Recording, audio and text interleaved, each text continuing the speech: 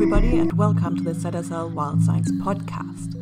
I'm Moni Böhm, Research Fellow here at the Zoological Society of London's Institute of Zoology, and today, everybody, we're going on an adventure to Madagascar.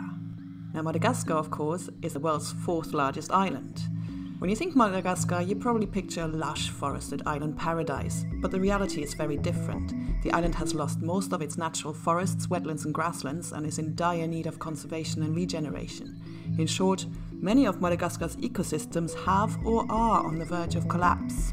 Now, large animals, or megafauna, are key parts of ecosystems around the world because they distribute nutrients and seeds, engineer landscapes, and so on. Yet they are disappearing from our planet at an alarming rate during the current extinction crisis. Now, this is also true in Madagascar, where the large megafauna consisted of no, not Marty the zebra, Alex the lion, or Melman the giraffe. The large megafauna of Madagascar consisted of things like giant lemurs, elephant birds, and even hippos. So Gloria the hippo should have felt relatively at home. So, what impact has the loss of these large animals had on the island? What can we learn about Madagascar's past, present, and future by exploring the diversity of these now extinct giant animals? And can we learn from these past extinctions on the island to help those species currently living there? So, to make sense of Madagascar's megafauna, I have with me James Hansford. Now, James is a research fellow here at the Institute of Zoology, and although I am sure his knowledge of cartoon animals is nearly unparalleled, his knowledge on extinct megafauna is even greater.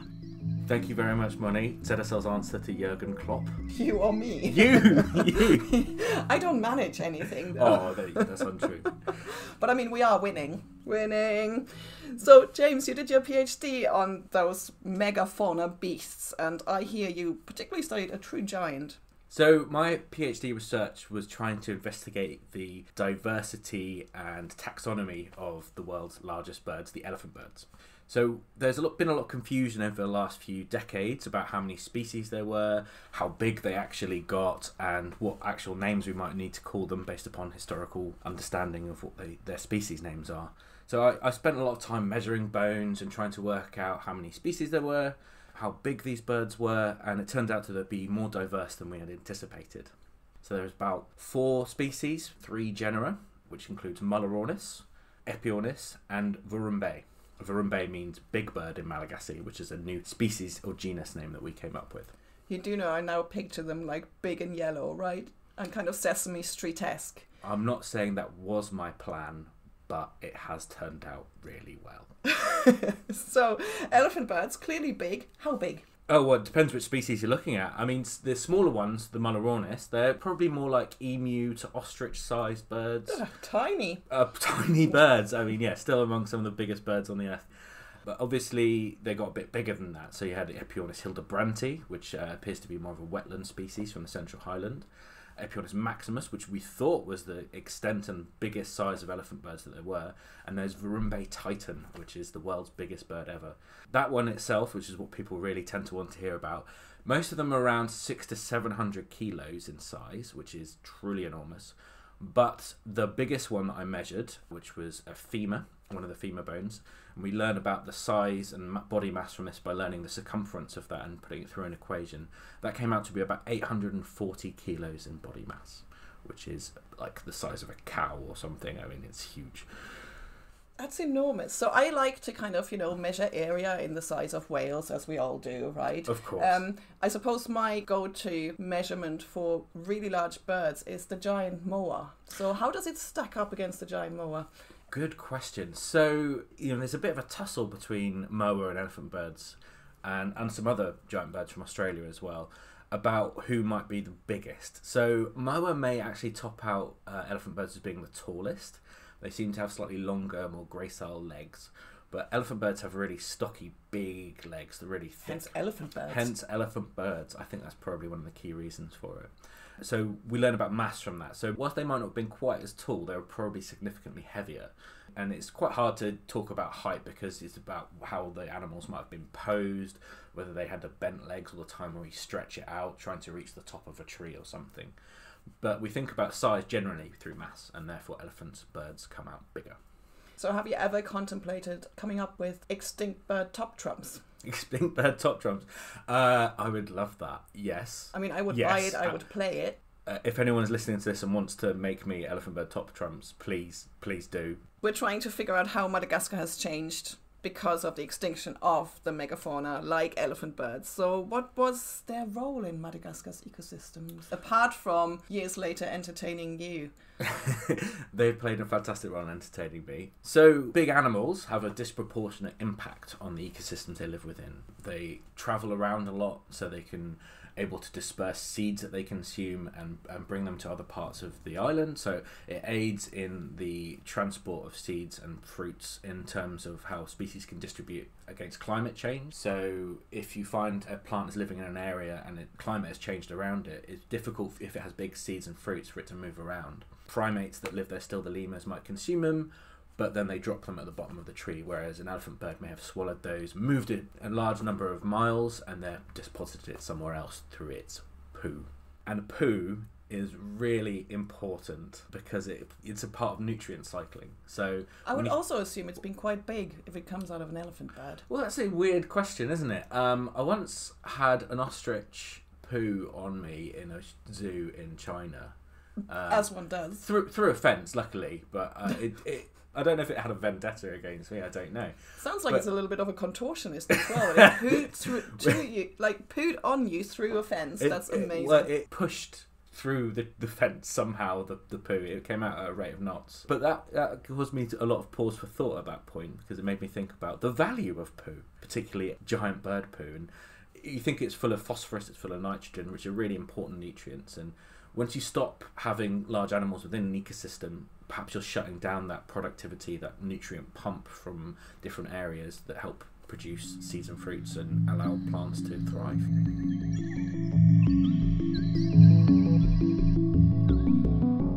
Let's see what other beasts were roaming around Madagascar in the past. What else was there big and impressive looking? Big and impressive looking. Well, there's not necessarily anything from the recent past that was quite as big as the biggest elephant bird. But there were some amazing creatures as well. If you go back into the fossil record, you've got things like dwarf hippopotami, giant tortoises, and, and a diverse array of incredibly different and large, medium, and small bodied lemurs.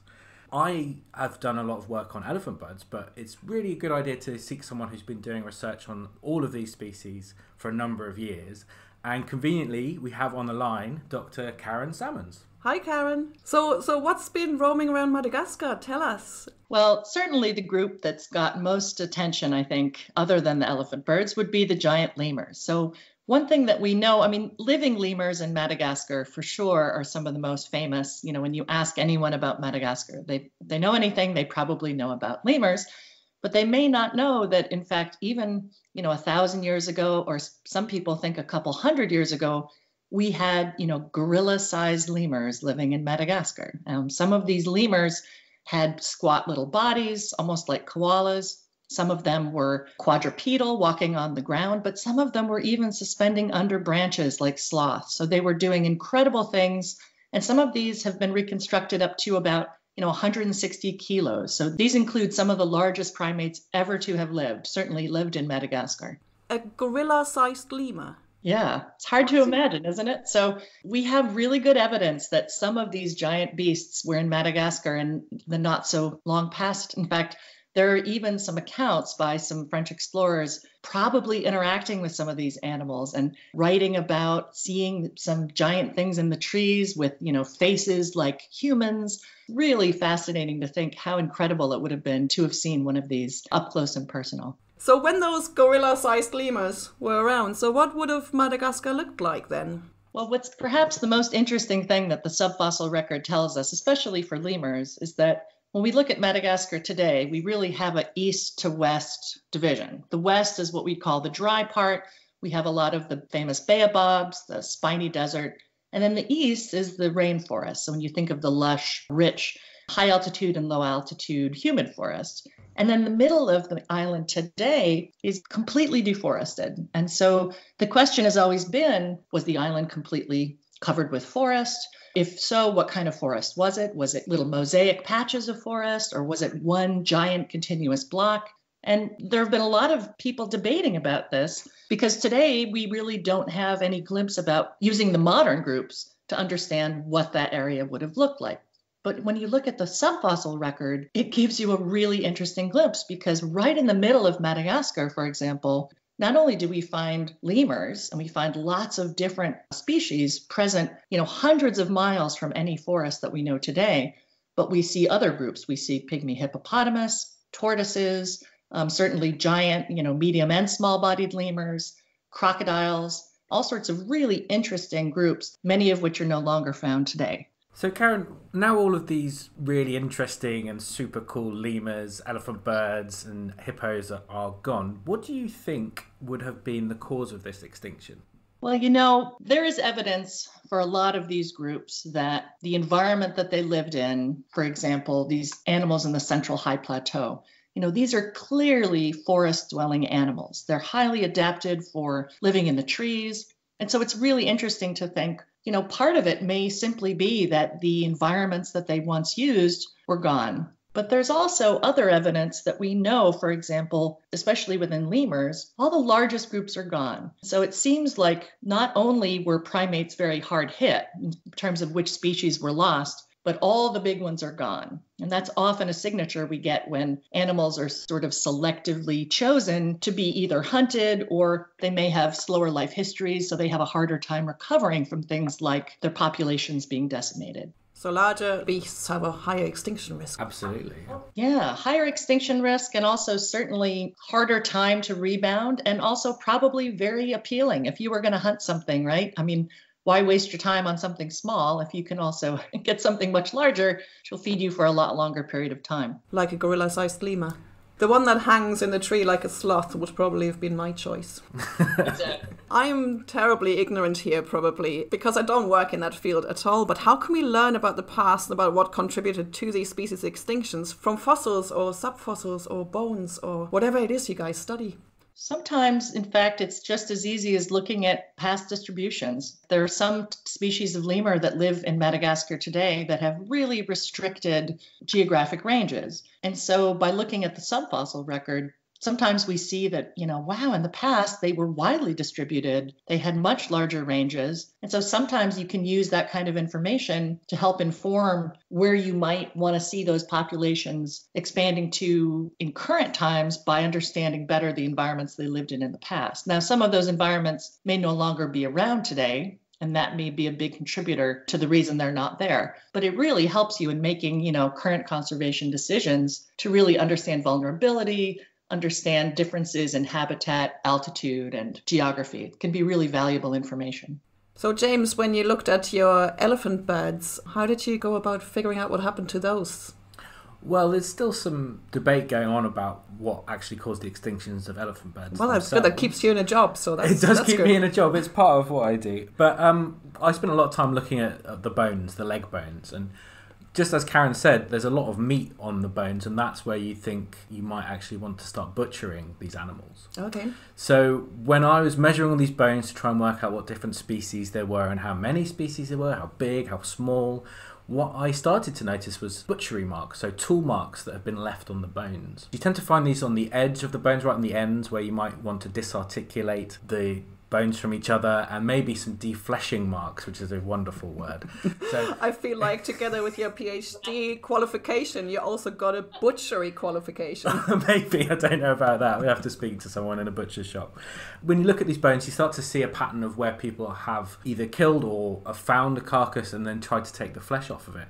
And when you radiocarbon date these bones, you can start to get an idea of when they were hunted and that's actually been quite a revealing part of my research. Probably leads to more questions than it actually answers. Again, if, it keeps you in a job. Again, it's quite convenient. It keeps me in a job. So, Karen, you've been working in Madagascar for a very long time. Why Madagascar? What's fascinated you about the place? Oh, Madagascar is just, it's such an amazing place. You know, if you were just to focus on the fact that its living animals are spectacular. You could spend your whole career just, you know, appreciating them. So Madagascar has some of, you know, arguably the weirdest animals and plants on the planet. But they have this high level of what we call endemism, right? So, endemism meaning that these are animals that are found nowhere else on the planet. And the fact that we have such biodiversity hotspot in Madagascar makes it just for me really thrilling, really exciting to think about, you know, no matter where you go, you're bumping into something something new or something that's unique to the island. But my original reason for coming to Madagascar actually related more to understanding how the modern animals got there. You know, you'd think that we would have a good grasp on this, but Madagascar has been isolated for a very long time, almost 90 million years.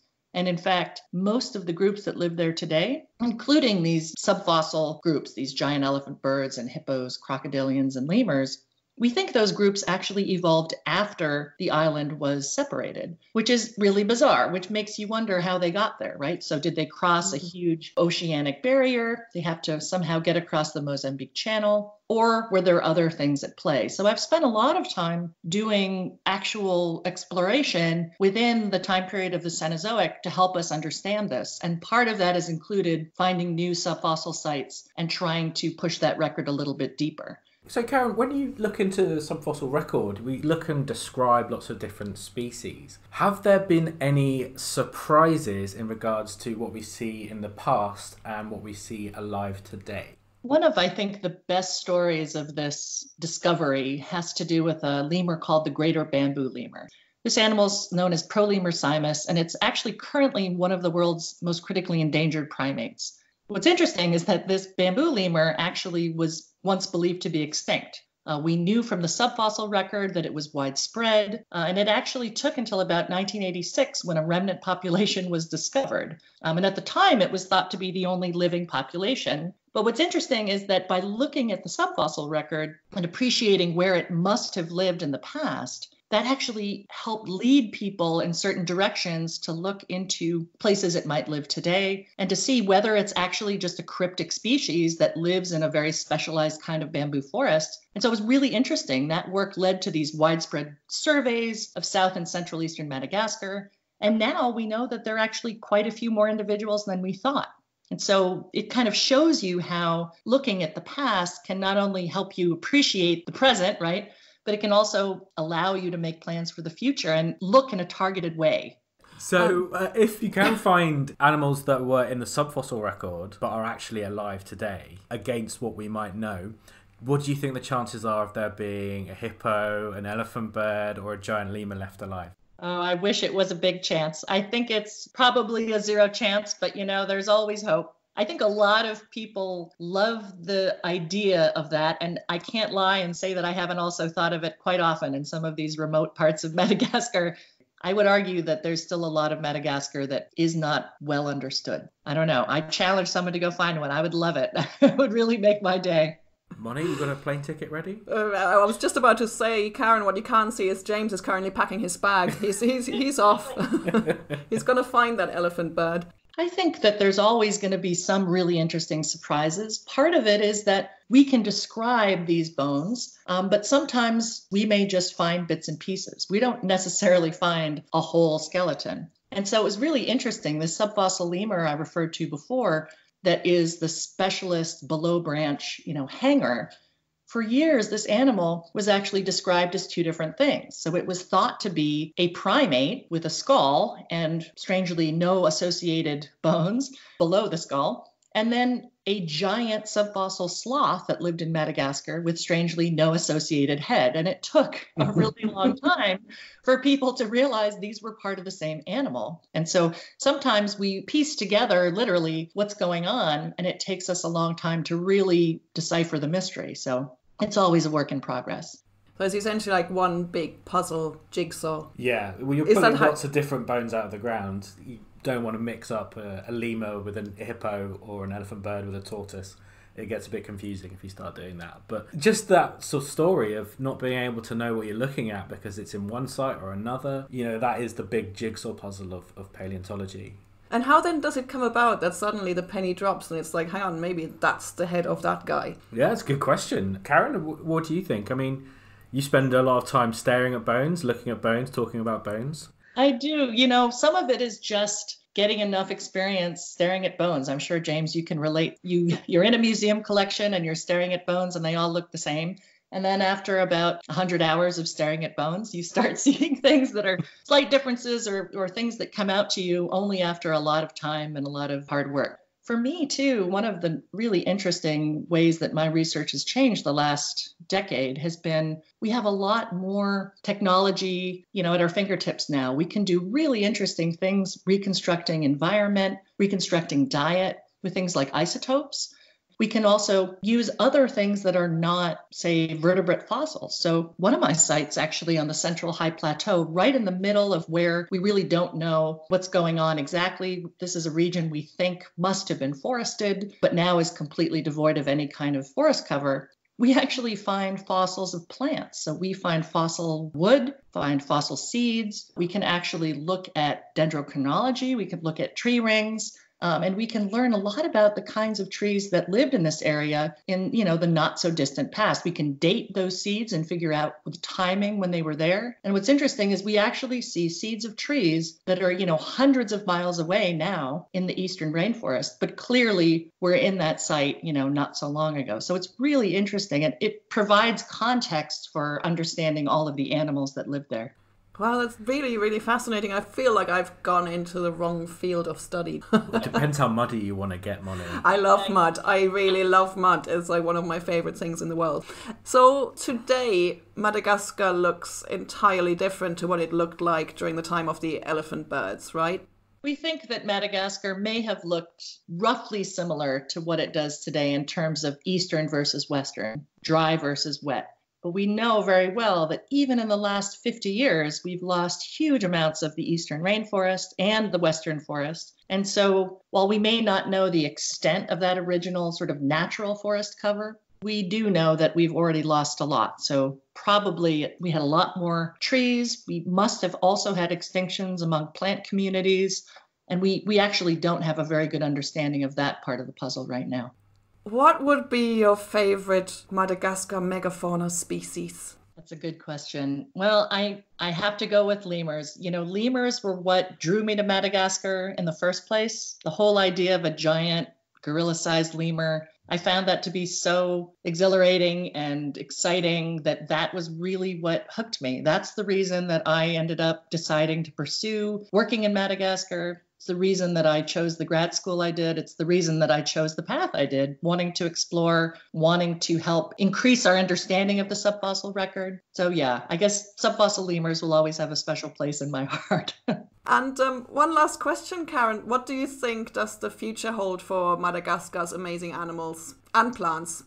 So, that is actually a really hard question to answer. I think you know, Madagascar is the kind of place you need a long term vision, thinking about long term goals. Because if you think in the short term, it can be pretty pretty hard to work in Madagascar. There's a lot of successes, but there's also been a lot of failures in conservation and and you really have to think outside the box a little bit with creative solutions and and have a lot of hope. You know, I think I have a lot of optimism for Madagascar's future because I know that there are many people that passionately care about the animals that are left. But I also think that these are big challenges. You know, we need to really work hard with the forests that we have left, with the animals we have left. And if the subfossil record can help us talk to people who live in Madagascar about extinction and about what that means and what you lose, and make a connection to what's left, then I think that's a great opportunity to really make it real for them. It's their own natural heritage. If Madagascar is going to succeed and, and move forward, then we really need everyone, not just people that are outside the country, but we need everyone, you know, to care and appreciate its natural heritage. A lot of that comes down to education and allowing people to appreciate and understand what they have in their own backyards. I like asking people about their favorite Madagascar megafauna species, but if I ask you, I think I know precisely what you're going to say, right? There's only one. It's definitely an elephant bird. I can't choose between them, and you wouldn't ask me to choose between them. Would you, Molly? I was about to, but no, fair. Um, so they're all wonderful and beautiful. Just because they're not, some of them aren't the biggest. They, they are all brilliant and wonderful in different ways. And learning about their different ecology and their different roles they played in Madagascar is going to be really interesting. Given the fact that they're a little bit like your children, what happened to them? What caused the extinction of the elephant birds? it's, it's hard to look into the past and determine exact causes of extinction when we don't have good historical records or good archaeological records or direct evidence. What we do have is a track record of butchery on elephant birds and other megafauna as well. And you can map those through radiocarbon dating and see when they started to stop hunting those animals and when they started hunting the smaller animals. And there seems to be a really interesting shift in how people subsided what animals they ate about a thousand years ago. So what we also see is we see a megafaunal crash about a thousand years ago. So we see these animals start to disappear, and this coincides with a large wave of human expansion, and we start to see lots more settlements and deforestation at this point as well. So it seems to be that whilst they may have persisted a long time alongside humans, that they started to decline when humans really started changing the landscape and exploiting them much, much more. If the science doesn't work out for you as a career path, crime scene investigator. Well, I work with forensics experts to try and study this. I have a wonderful set of colleagues in the UK, based at Teesside University, and over in the States as well, both independent experts in their field that have looked at these bones. They often actually work in law courts to determine if human agency has killed people and whatnot. Oh, so I'm not the expert, but they are, um, and they've taught me a great deal. helped you on CSI extinct megafauna. Uh, I'm not going to say cryptozoological detective, but I did. you, you, you so did. So when I was studying cut marks on bones, I was trying to understand the period of decline of elephant birds in particular, to try and understand if they had increased amounts of hunting towards the end of their extinction cycle. But what I did find was something I didn't expect to, which was tool marks on bones that were much older than people thought humans were even in Madagascar at all. So what I found was tool marks on bones that had been collected from a site called Il- Ilakaka, or Christmas River, that had tool marks on bones that were about 10,500 years old. People had previously thought that humans had arrived somewhere between 2,500 to 4,000 years ago. So this pushed back the archaeological record back by about 6,000 years. And you casually did that in an afternoon's work. I arrived at a field centre in the Ranomafana National Park and they were in a display cabinet and I spotted it and then we realised we sort of accidentally changed history at that point. It was surprisingly casual at that point, but then we put it under intense scrutiny, taking it to my forensics experts to try and understand if this was true, get it checked through additional radiocarbon dating to ensure that the date was actually perfectly accurate. Hmm. And we had two radiocarbon dates and they matched really well, so we know it's really good dating.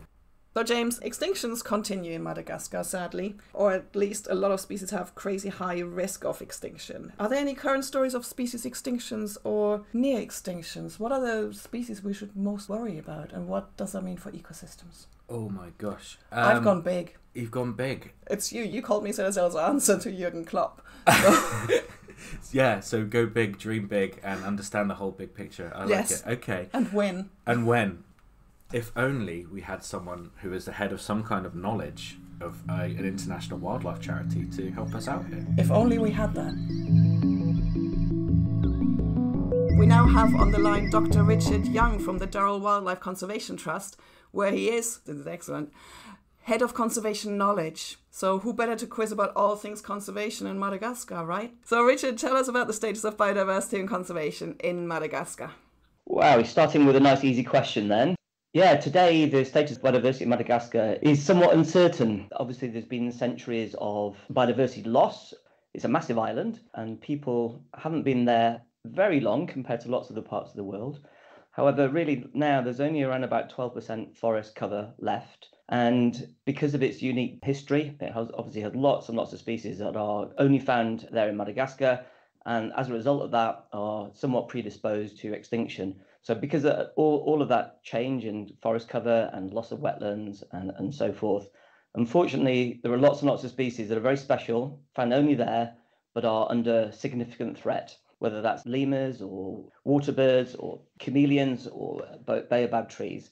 So it's in a bit of a perilous state, unfortunately. There's obviously been a, a huge um, international and national effort to try and conserve what's left, but we have to be realistic and accept the fact that just in the last two or three years, actually the rates of deforestation have spiked after a period of time where they were starting to come under control. So, yeah, we're worried, unfortunately, about the future of biodiversity in Madagascar. There's more to Madagascar than just forests, though, isn't there, Richard? I mean, I know that the Durrell Wildlife Conservation Trust have a lot of projects going on in, in wetland areas as well. And those wetland areas bring us some really interesting stories about bringing animals from the brink of extinction as well. So I was wondering if you might tell us a bit more about one of the most interesting projects you've got, which is around the Madagascar pochard.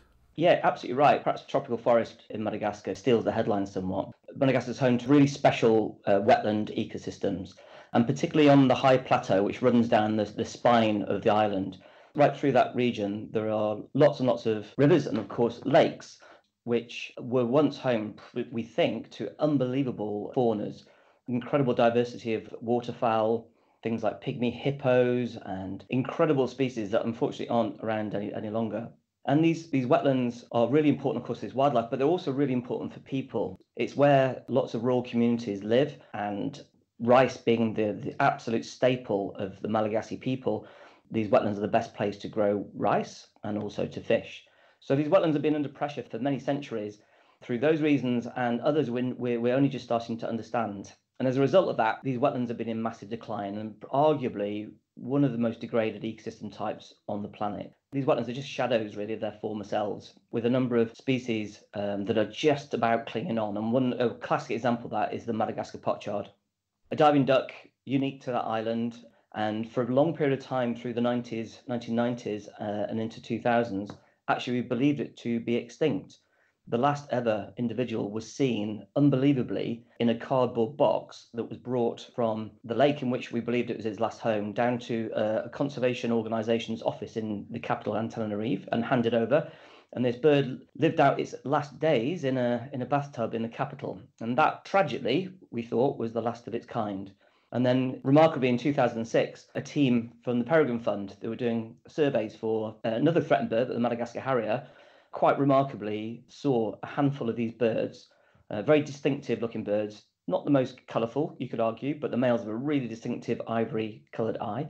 And yeah, in the middle of this lake, we were swimming a handful of these birds, and suddenly, boom, it was back from extinction. So we uh, caused so much celebration, but we quickly realised after doing the first assessments that probably there are only about 20 adult birds left. That was it. And all at one site, therefore in a really, really perilous state on the brink of extinction. So so we've we've had to act and we've had a long-term conservation program ever since that day to try and bring it bring it back from the brink. So what have been like the main obstacles in getting this species back from the brink and making sure that not more individuals turn up in cardboard boxes in some office? So obviously just by virtue of its tiny population size, it's really vulnerable to sort of random events, disease hitting, or a, a major mm. cyclone, which actually has just struck Madagascar just recently. So clearly, yeah, we were very concerned.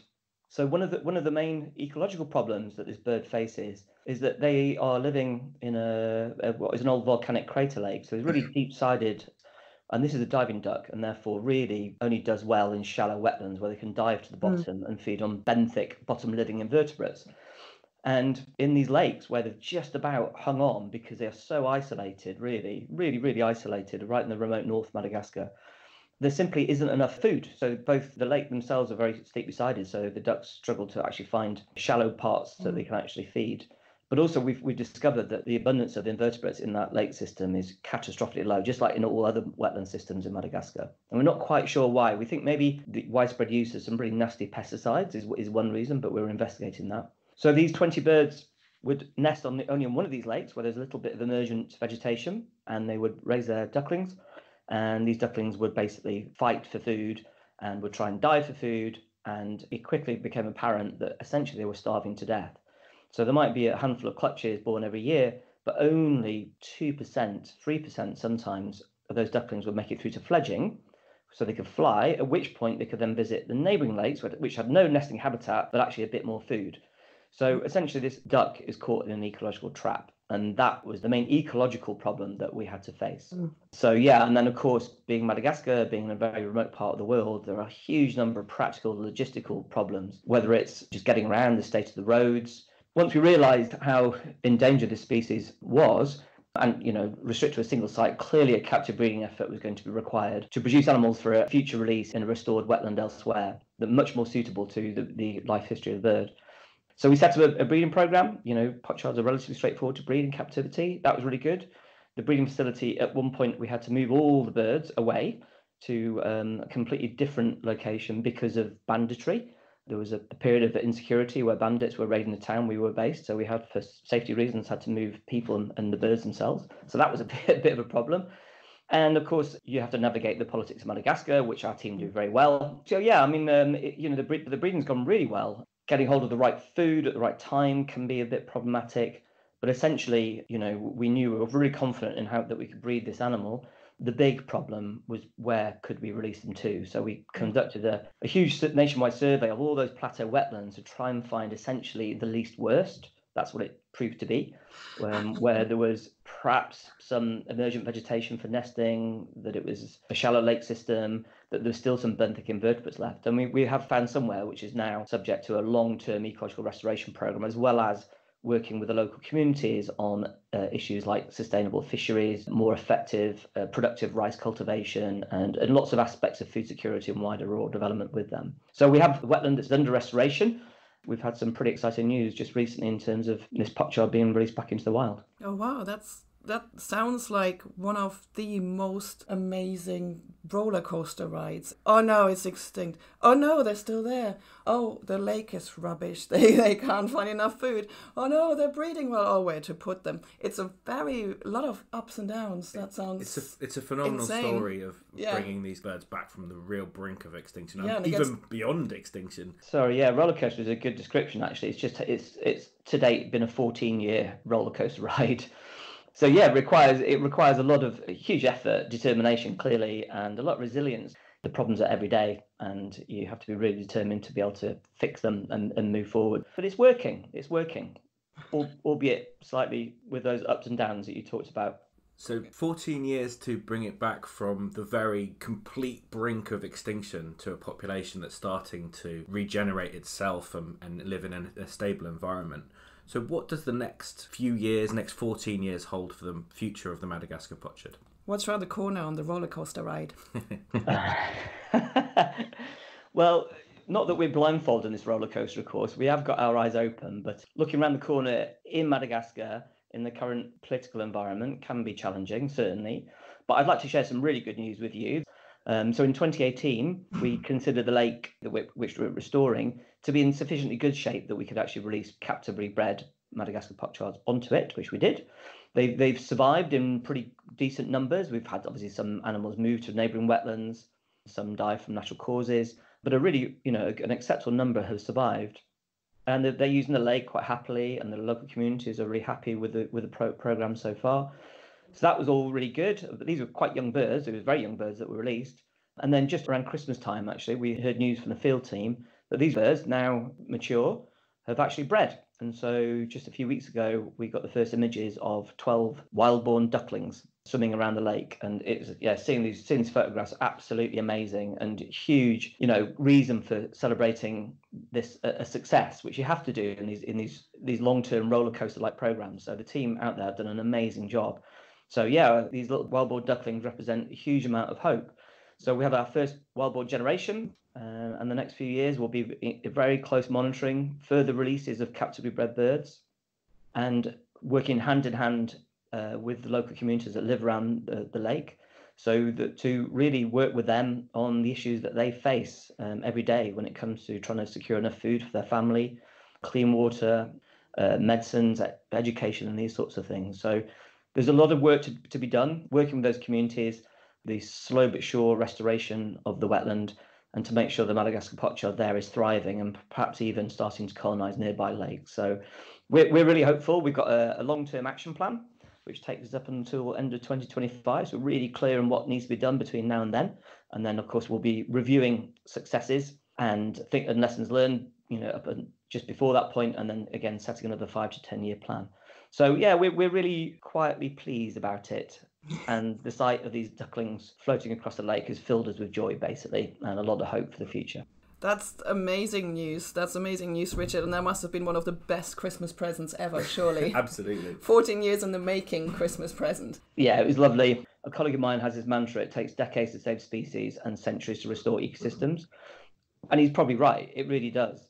You know, when, when you're working as an organization and a team of people and as individuals on these programs for years, if not decades, then these little successes along the way are really important to celebrate. And so, yes, we, we definitely raise a glass or two for those little ducklings. Good and deservedly so. And I think it's not even just a little success. That sounds like a major step. It's huge, and I think it's a fantastic project and a great undertaking. Congratulations. A job well done. Um, we may have to go on a bit of a roller coaster journey again with the next question, though. What do you think the future holds for Madagascar's species? Are there reasons to stay positive? Are there silver linings? Is it just very depressing? Or does it depend on the mood that one is in on the day? Take your pick. That's a tough question. Well, thankfully, I got up early and had an amazing walk with my dog under bright blue sunshine, hearing skylarks singing. So I feel quite hopeful today. But I suppose that somewhat answers your question in as much as you know, some days are really tough, and you, you look at all the challenges and hurdles that need to be overcome, and some of the the problems in a country like Madagascar, and you know, particularly the rural communities and the challenges they face. So it can be really difficult to see a positive future. But hope and a belief is really is you know two powerful weapons basically, and um, that's the reason why we do celebrate these successes because it can refuel hope and it can refuel belief. And you know, yes, there are a lot of a lot of problems loss of forests or degradation of wetlands, bleaching of coral reefs or whatever it is in a place like Madagascar. But there are successes. So it's a real careful balancing out, both in terms of the way you talk about it, but also the way that you think about it. You know, you have to recognize the enormity of the challenge ahead, but equally look at those successes and use that, you know, to empower you, but not just talk about successes because that would be, be misleading because the, the challenges are, are so great in the short term, until the political social problems are resolved in countries like Madagascar, then often a conservation success is in reality making things less worse than they would have otherwise been. And we have to kind of accept that. The really nice thing about the Madagascar pochard is it's a very it's very clear progress, it's recovery we're not naive. We realise there could be setbacks, but it, it is clear, demonstrable recovery, and that's a really positive thing. I'm feeling quite optimistic today, so I believe absolutely we have to fight for the future of Madagascar's wildlife um, and work, work hard towards it. Nice, and hopeful. I like it. Yeah, yeah, no, I, I liked it. It was like a verbal hug. So when we look into the recent past of Madagascar and we find lots of bones in wetland environments, things that have lived alongside the Madagascar pochard. We find lots of megafauna. So I was wanted to know what of those species would you like to have seen in the flesh and why do you find it so interesting? Hmm, that's a great question. I guess the kind of somewhat obvious answer would be to see one of the elephant bird species because there's nothing like it really. So that would be pretty remarkable and my my imagination certainly was captured when I first saw David Attenborough holding an elephant bird egg on TV, and that was just, I just thought that was phenomenal. So that kind of would be the obvious answer, I suppose. But after spending a lot of time in the wetlands of Madagascar, I would love to have seen the pygmy hippos. I would love to have seen huge herds of pygmy hippos in some of those wetlands, kind of just doing what they would do best and kind of engineering that environment. I think that would be and bringing bringing those wetlands back to life, I think that would be absolutely wonderful. Great answer. I mean, hippos provide so much productivity to an environment like a wetland, so I can only agree with you on that. But yeah, and in, in all honesty, also you mentioned the elephant bird. You should have seen James's face. I mean, joy doesn't even describe it.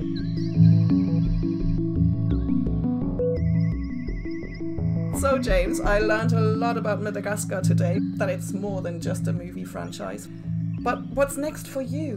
What's next for me? Is it more big extinct birds? There's always more big extinct birds on my horizon. Down in the bone storage room, which we have here at ZSL, we have a very interesting collection of elephant bird skulls, which is the biggest collection in the world, and we're hoping to start conducting research on those soon.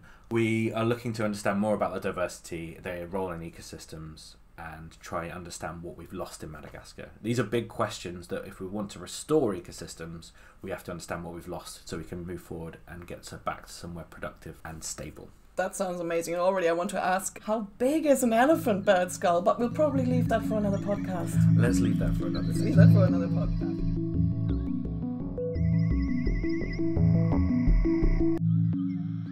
How big was that poo that landed on your shoe? I'm sorry. Uh, it was it was uh, size is difficult. It was quite squirty. I didn't collect a volume size from it. I'm afraid, Moni.